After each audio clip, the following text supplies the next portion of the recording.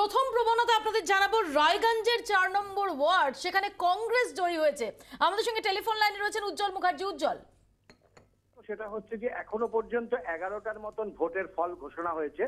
তার মধ্যে দেখা যাচ্ছে বা দু একটা এগিয়ে রয়েছে এরকম জায়গায়। এগারোটার মধ্যে নটাতে রয়েছে তৃণমূল কংগ্রেস এগিয়ে বা জিতে গেছে। একটা জিতেছে কিন্তু বিজেপি এবং একটা আসনে চার নম্বর ওয়ার্ডে জয়ী হয়েছে কংগ্রেস।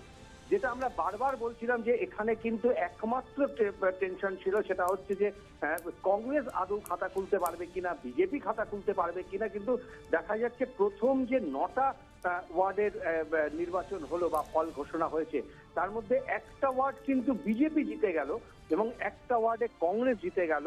এই এই দুটো ওয়ার্ডেই কিন্তু বেলা এগারোটার পর থেকে প্রার্থী পদ প্রত্যাহার করে নিয়ে চলে এসেছিল কংগ্রেস এবং বিজেপি দুদলই তাদের কোনো এজেন্ট ছিল না। তার মধ্যেও কিন্তু আমাদের কাছে এখনও চূড়ান্ত ফল আসেনি। তবে যেটা দেখা যাচ্ছে যে সাতশো থেকে সাড়ে সাতশো ভোটের ব্যবধানে এই দুটো ওয়ার্ডেই কিন্তু কংগ্রেস এবং বিজেপি তারা জয়ী হয়েছেন এবং প্রত্যাশিত ভাবেই সাতটা ওয়ার্ডে তৃণমূল কংগ্রেসের প্রার্থীরা জয়ী হয়েছেন। এবং ওতে আমরা যেটা দেখতে পাচ্ছি যে কোনো কোনো ওয়ার্ডে সাতশো সাড়ে সাতশো আটশো মার্জিন হয়েছে তৃণমূল কংগ্রেসের।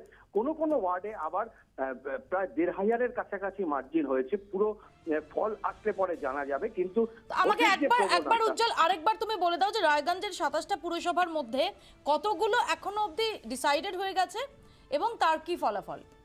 নটা নটা পুরসভার ফল ঘোষণা হয়ে গেছে হ্যাঁ। নটা ওয়ার্ডের ফল ঘোষণা হয়েছে। তার মধ্যে একটা ওয়ার্ড জিতেছে কংগ্রেস একটা ওয়ার্ড জিতেছে বিজেপি এবং বাকি সাতটা ওয়ার্ড জিতেছে তৃণমূল কংগ্রেস। ধন্যবাদ উজ্জ্বল তোমার কাছ থেকে এই সংক্রান্ত খবর আমরা নিতে থাকব। রায়গঞ্জে সেখানে ইতিমধ্যেই নটি ওয়ার্ডের ফলাফল ঘোষণা হয়ে গেছে। সাতটি জিতেছে তৃণমূল কংগ্রেস এবং খুব ইন্টারেস্টিংলি দুটি ওয়ার্ড একটি জিতেছে বিজেপি এবং একটি জিতেছে কংগ্রেস। অর্থাৎ রায়গঞ্জে যেভাবে বিরোধীরা প্রত্যাহার করে নিয়েছিল বেলা গড়াতে না গড়াতেই এবং অভিযোগ উঠেছিল যে রায়গঞ্জে রকম কোনো ভোট হয়নি। বিরোধীরা খাতা খুলতে পারবে কিনা সেই সংশয় ছিল। সেখানে দুটো ওয়ার্ড ইতিমধ্যেই দখল গেছে বিরোধীদের দিকে। আমি পূজালির দিকে নজর রাখব। পূজালিতে সেখানেও ইতিমধ্যে তিন নম্বর ওয়ার্ড, সেখানে বিজেপি জয়ী হয়েছে বলে আমরা জানতে পারছি। আমি একটি সার্বিক প্রবণতা জেনে নেব। শ্রেয়সী গাঙ্গুলি রয়েছেন। শ্রেয়সী।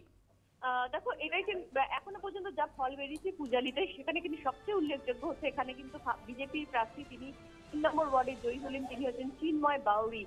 এবং সেক্ষেত্রে ভোটে, ভোটের যে মার্জিন সেই মার্জিন হচ্ছে উনত্রিশ। অর্থাৎ উনত্রিশ ভোটে তিনি তার নিকটতম প্রতিদ্বন্দ্বী তৃণমূল কংগ্রেসের সন্দীপ মালিককে হারালেন, হারিয়ে তিনি জয়ী হলেন। অন্যদিকে যে অন্যান্য যে রেজাল্টগুলো বেরোচ্ছে সেক্ষেত্রে সেক্ষেত্রে কিন্তু এখনও পর্যন্ত দেখা যাচ্ছে যে যতগুলো রেজাল্ট বেরোচ্ছে বা ট্রেন্ড দেখা যাচ্ছে, সেক্ষেত্রে অনেকটাই কিন্তু এগিয়ে এগিয়ে রয়েছে হচ্ছে তৃণমূল কংগ্রেস। অন্যান্য যদি সার্বিকভাবে বলি, তাহলে কিন্তু এগিয়ে রয়েছে তৃণমূল কংগ্রেস। যদিও পাঁচ নম্বর যে ওয়ার্ডটা, সেই ওয়ার্ডে কিন্তু যথেষ্ট হাড্ডাহাড্ডি লড়াই হয়েছে। অন্যদিকে সাত নম্বর ওয়ার্ডে কিন্তু বেশ ভালো লড়াই হয়েছে। ফলে সার্বিকভাবে দাঁড়িয়ে কিন্তু এই মুহূর্তে বিজেপি কিন্তু পূজালিতে এই মুহূর্তে তারা- তাদের যে দেখা গিয়েছিল সেই জায়গা থেকে দাঁড়িয়ে তাদের বিভিন্ন নেতারা রাজ্য স্তরে জেলা স্তরের নেতারা তারা তারা এখানে এসেছিলেন এখানে এসে সভা করেছিলেন মিটিং করেছিলেন রোড শো করেছিলেন এবং ভোটের দিনও কিন্তু তারা যথেষ্ট অ্যাক্টিভ ছিলেন। ফলে সেই জায়গা থেকে দাঁড়িয়ে তিন নম্বর ওয়ার্ড কিন্তু বিজেপি শ্রেয়সী ধন্যবাদ তোমার কাছ থেকে। এই সংক্রান্ত খবর আমরা নিতে থাকব। আমি জাদ মাহমুদের কাছে আসব যে আপনারা বিরোধীরা বলছেন যে ভোট হয়নি ভোটের নামে প্রহসন আসে। যদি মর্নিং শোজ দ্য ডে বলা যায়। অন্তত বিরোধী চূর্ণ অর্থাৎ আপনারা যে অভিযোগ করছিলেন যে যে লক্ষ্য নিয়ে কোট আনকোট সন্ত্রাস চালানো হয়েছে, তা তো অন্তত এখানে যুক্তিতে টিকছে না। কারণ ইতিমধ্যেই রায়গঞ্জ সেখানে একটি কংগ্রেস জিতেছে, অর্থাৎ জোট জিতেছে, একটিতে জিতেছে বিজেপি। পূজালিতে একটি জিতেছে বিজেপি। এটা যদি এটা যদি যুক্তি হয়, তাহলে আর কিছু বলার নেই।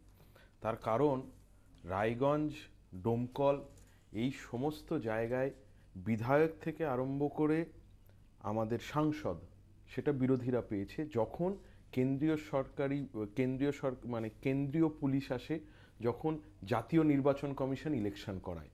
আজকে রাজ্য নির্বাচন কমিশন ইলেকশন করিয়েছে এবং সেখানে যদি নটার মধ্যে সাতটা তৃণমূল জিতে যায়, একটা বিরোধীদের বা একটা বা দুটো বিরোধীরা পেয়ে যায়, গণতন্ত্র তার মানে সুষ্ঠু হয়ে গেল, এই যুক্তি কোনো মতেই টেক।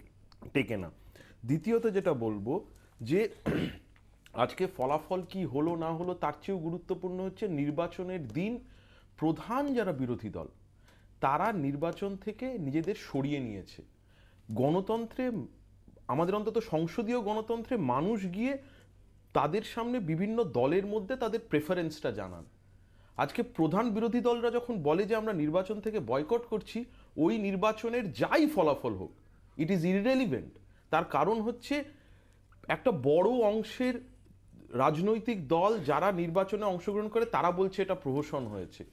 নির্বাচনের প্রক্রিয়াটা তো সুষ্ঠু করতে হবে। আজকে টিভিতে যেদিন নির্বাচন হয়েছে, সেদিন আপনারাই দেখিয়েছেন। বোমা নিয়ে, উইকেট নিয়ে, বন্দুক নিয়ে ওপেনলি ঘুরে বেড়াচ্ছে। তাহলে ইদার আপনারা ভুল দেখিয়েছেন, আজকে ঠিক, বা আজকে ভুল হচ্ছে ওই দিন ঠিক। আমি ইতিমধ্যে যে প্রবণতা পাচ্ছি পূজালির, এক, পাঁচ, সাত, আট, এই চারটি ওয়ার্ডে তৃণমূল কংগ্রেস জয়ী হয়েছে। কংগ্রেস জয়ী হয়েছে ছ নম্বর ওয়ার্ডে এবং আগেই জানিয়েছি যে তিন নম্বর ওয়ার্ড সেখানে জয়ী হয়েছে বিজেপি। আমি অম্বুজবাবুর কাছে আসব। যে অম্বুজবাবু, আপনাদের কাছে আপনাদের যেটা লক্ষ্য, আপনাদের কাছে বড় চ্যালেঞ্জ যে সত্যি সত্যি দ্বিতীয় প্রধান বিরোধী দলটা হিসেবে উঠে আসা যায় কিনা। কি মনে হয় আজকে সকালে? পারবেন? না, আমি তো এই মামুদবাবু যেটা বললেন সেটা সম্পূর্ণ রকমভাবে সমর্থন করি। যে এটা ভোট না এটা অন্য কিছু মানে অবজেক্টিভটা কি অ্যানালিসিস করছে সেটা দেখতে হবে। এটা একটা হাস্যকর পরিস্থিতি। গণতন্ত্র চাই আর এইভাবে চাই এটাকে কি গণতন্ত্র বলা যায়? যদি না যায় তাহলে এই অ্যানালিসিসের কোনো মানে হয় না। হাস্যকর। সারা ভারত না সারা পৃথিবী আজকে ওই মিডিয়ার যুগে সবাই দেখছে। দেখার পরেও আপনি দেখুন এটাকে কালো কি ভোট গণনা বয়কট করেছেন? টোটাল সিস্টেমটাই লোকে দেখছে তো এখানে পুলিশ দুর্বৃত্ত পার্টি কি করছে সবাই দেখছে। দেখার পরে আপনাকে যদি জিজ্ঞেস করে বলুন তো এই ক্যামেরার রংটা কালো না সাদা? দেখছি কালো কিন্তু বলতে হবে সাদা। সেটা এক অদ্ভুত গল্প। তো কংগ্রেস তো আদালতের দ্বারস্থ না, না, শুনুন, শুনুন, কংগ্রেস তো আদালতের দ্বারস্থ হয়েছে কিন্তু আপনারা আমি বলিনি আমি আমি শেষ করে নি মানে ডেমোক্রেসি তো চারটে পিলার। আজকে দেখুন একের পর এক প্রেস। প্রেসের একটা ওষুধ বেরিয়েছে ধোলাই রাম দোলাই যেখানে কোথায় বিধাননগরের এতে বাইশ জন আপনার সাংবাদিক বাইশ জন সাংবাদিক কি মার? তাকানো যায় না। তারপরে এলো কি যে আপনার এক্সিকিউটিভ এক্সিকিউটিভ এমন হয়ে গেছে এখন যে অশোক স্তম্ভ লাগিয়ে পায়ে পড়ে যাচ্ছে। মা বলছে বাবা বলছে কি বলছে তার কিছু ঠিক নেই। তারপর আমি আমি শেষ করে নিই। তারপর এসছে আপনার জুডিশিয়ারি জুডিশিয়ারি হারে রে রে হারে রে রে। এখন বাধ্য হয়েছে পাশে স্টেটে যেতে আমরা। তা এরপরে লজ্জার কি বাকি আছে? বিধাননগরের মতো নির্বাচন তো দু হাজার পনেরো যেটা হয়েছিল সেটা হয়নি। তাতেও তো বিরোধীরা দুটো সিট জিতেছিল ওখানে। তার মানে কি যুক্তি ভোট হয়েছিল? না না এটা এখানে আমার অবজেকশন আছে। না এখানে আমি এটা বলি না অবজেকশন আছে। এটা চুরি হলো। চুরি হওয়ার পর আমি ঠিক করলাম পুরোটা না নিয়ে গিয়ে পাশের বাড়ি দুটো রেখে যাই। তার মানে কি পাশের বাড়িও চোর? এগুলো কোনো যুক্তি হয় না সমস্ত উত্তরগুলো নেব এখনও অবধি যে প্রবণতা আমরা পাচ্ছি। আরও একবার আপনাদের জানিয়ে রাখি যে রায়গঞ্জে এখন অবধি নটার ফলাফল ঘোষণা হয়েছে যেখানে একটি কংগ্রেস একটি কংগ্রেস জিতেছে একটি জিতেছে বিজেপি বাকি সাতটিতে তৃণমূল কংগ্রেস জয়ী হয়েছে পূজালিতে সেখানে এক পাঁচ সাত এবং আট এই চারটি ওয়ার্ডে ইতিমধ্যেই জয়ী হয়েছে। তৃণমূল কংগ্রেস ছ নম্বর ওয়ার্ডে জয়ী হয়েছে কংগ্রেস এবং তিন নম্বর ওয়ার্ডে জয়ী হয়েছে।